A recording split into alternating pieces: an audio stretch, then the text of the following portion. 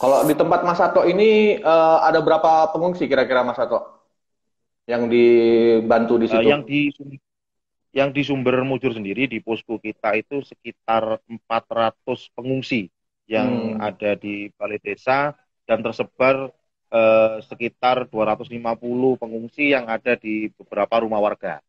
Oke, okay, oke. Okay. Uh, kalau boleh diukur ya Mas Sato, ini lebih banyak ke yep usia muda atau usia lansia, Mas Sato? Atau ada anak-anak balita gitu?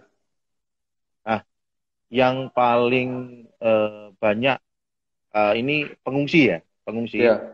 Hmm, uh, betul. Pengungsi itu terdiri dari uh, orang tua, orang, orang tua, tua ya. dewasa, uh, ya. terus juga ada sebagian anak-anak. Ya, hmm. uh, ini yang menjadi mirisnya kita kak, itu ya. adalah ya. ada anak seorang anak yang memang ditinggal kedua orang tuanya, Kak. Dia ditinggal dalam hari, artian orang tuanya hilang atau gimana, Mas Ato? Orang tuanya hilang sampai sekarang belum ditemukan, Kak. Oh, Ke mana okay. orang tuanya? Ya, nah, ya, jadi ya, ya.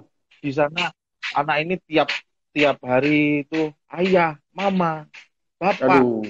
ibu seperti itu. Nah, ini yang membuat terenyuh. Yeah. Ya. Uh, saya pribadi, saya pribadi membuat terenyuh akan hal tersebut. Dan uh, teman-teman sendiri uh, berinisiatif mereka memberikan uh, hiburan seperti yeah. membawakan mainan yeah, ya, seperti yeah, yeah. Uh, mereka membacakan dongeng nggak di hmm, itu salah satu bentuk uh, bantuan apa uh, trauma healing lah ya.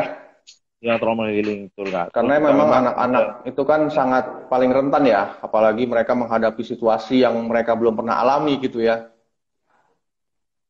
Iya.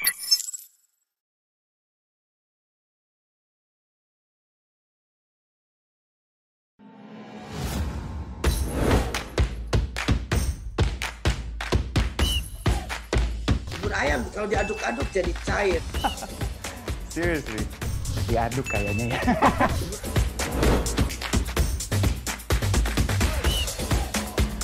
oh, perlu luar negeri gimana ya? Ini demi kemajuan bangsa Indonesia.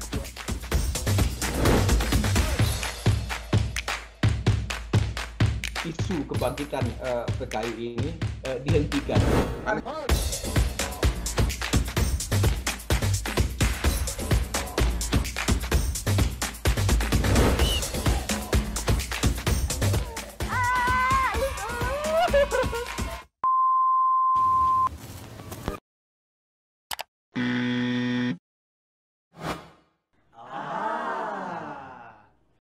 medcom.id a part of Media Group News.